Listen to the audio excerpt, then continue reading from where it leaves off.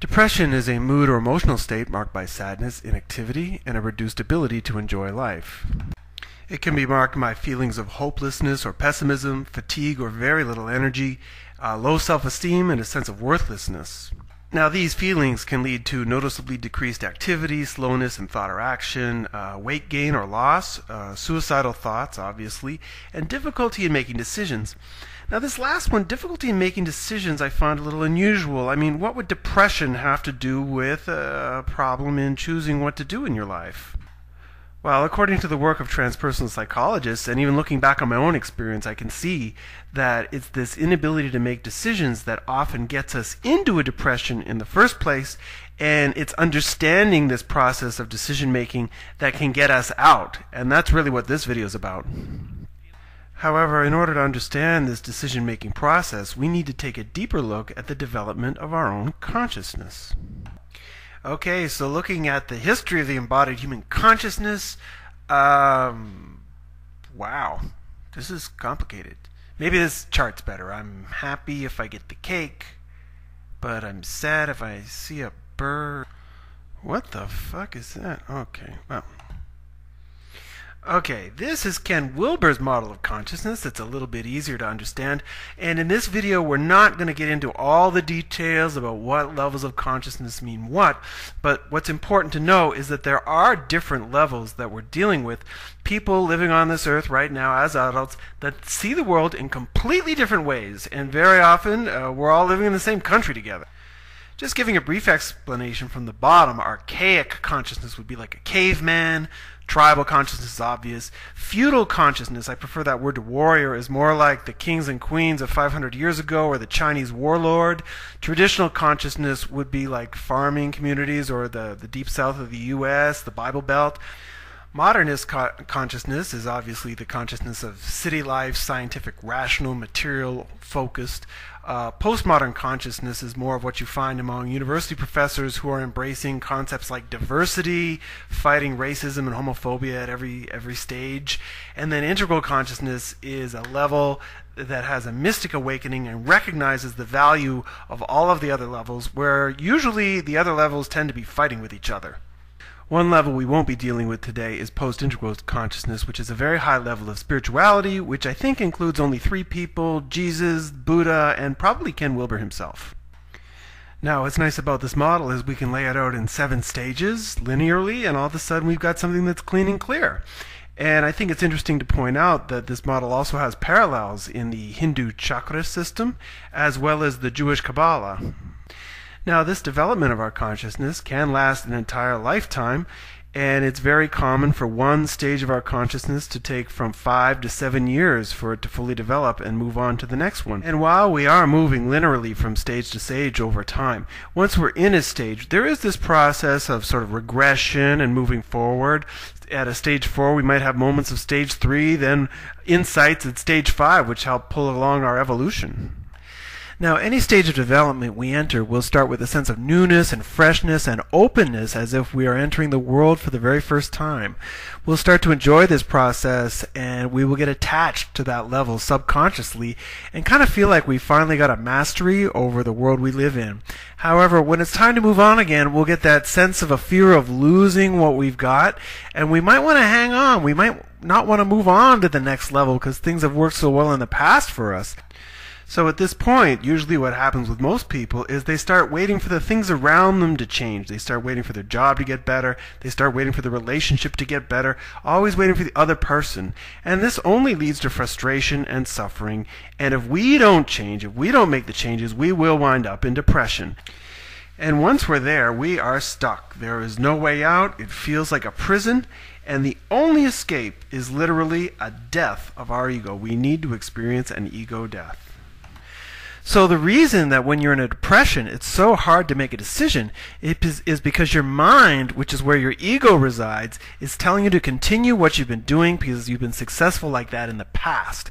However, your heart, which is where your soul resides, is telling you that it's time to move on and it's time to do different things, that what you've been going through lately is not feeding you like it was before, and it's time to let go. Now that's all quite theoretical, and I'd like to put it in real practical terms for you. Uh, there's a woman named Carolyn Myss who has a book called Anatomy of Spirit, Sacred Contracts, other books like that, and she approaches this whole problem in terms of our personal energy. And when you think about the depressions you go into, this loss of energy just seems to be the real emotional feeling, almost as if there's just nothing inside you to do anything anymore.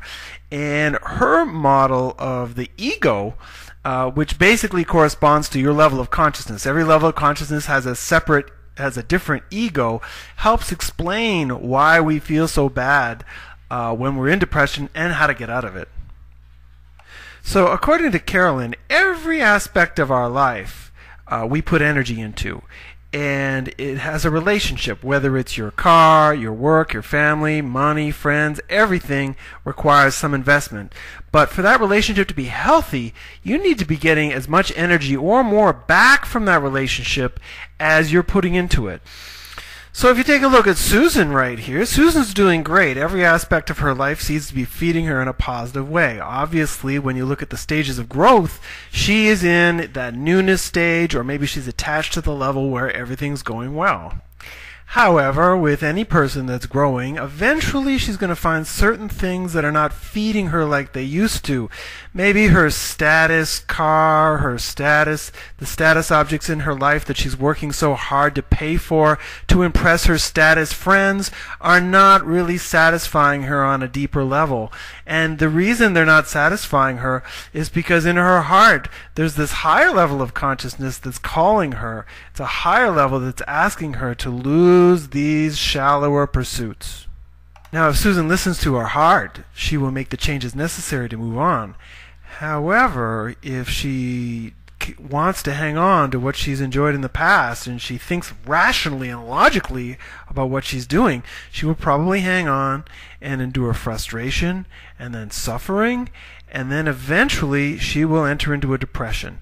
And in that depression, not only are the relationships that weren't feeding you going very well, but you can lose a taste for everything. You can lose the taste for your entire life, even the things that were going great. Now, Susan isn't the only one who's afraid to change. In the book Denial of Death by Ernest Becker, he wins a Nobel Prize by showing how humans are basically afraid to change because, on a subconscious level, we associate letting go of old ways and old ideas with death. For us, change is the equivalent of death, and if you're afraid to die, you are literally afraid to live. However, Susan will eventually let go of what she needs to let go, provided that she doesn't take antidepressants. And with that, uh, there could be a period of mourning, especially for a big uh, loss, like losing a career or a divorce or something like that. However, eventually, what will happen is she will feel a surge of energy uh, that comes from this release of relationships that were not feeding her. Other sensations are that, again, this newness comes. There's an opening, a widening of your perspective, and very often a sense of synchronicities, almost like things are just coming together for you. So, getting back to Susan, maybe she reprioritizes things. Maybe even with all this energy, she decides to lose her religion. Uh, she reprioritizes her life. She finds herself making more money. She invests in new relationships, like a new puppy. Uh, she takes a bicycle to work instead of driving a fancy car.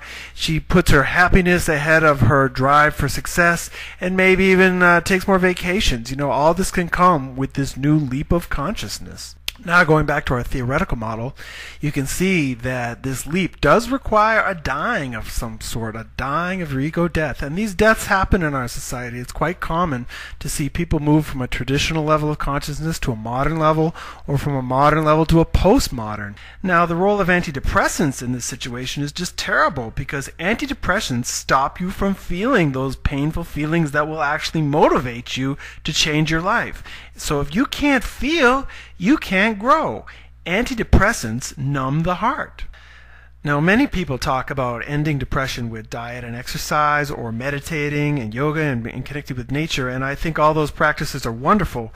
But at the same time, I really believe that if those practices in your life are not leading to the kind of ego death changes that need to happen, you will never fully shake your depression. In order to move on, you really need to let go. In closing, I'd just like to say that if you're depressed out there, I would encourage you to look at this model that Carolyn Myss has uh, put forward and identify what relationships in your life are giving you interest on your energy and energizing you, and which ones are not. And once you take a good look at it, you'll understand that those relationships that you're maintaining that are not satisfying you are the things that need to die. At the very least, they need to be transformed radically for you to grow in your life. Antidepressants are not the answer.